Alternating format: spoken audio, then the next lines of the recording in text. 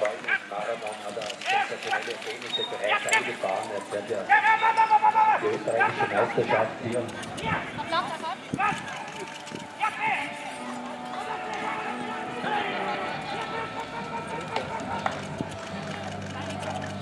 Ja, das Pferd ist sehr, sehr jung. Sieben Jahre alt, also für Marathon bewährt.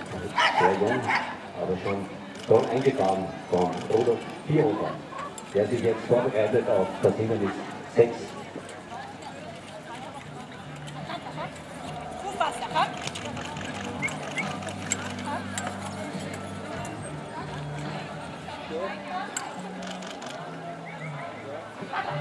Passa!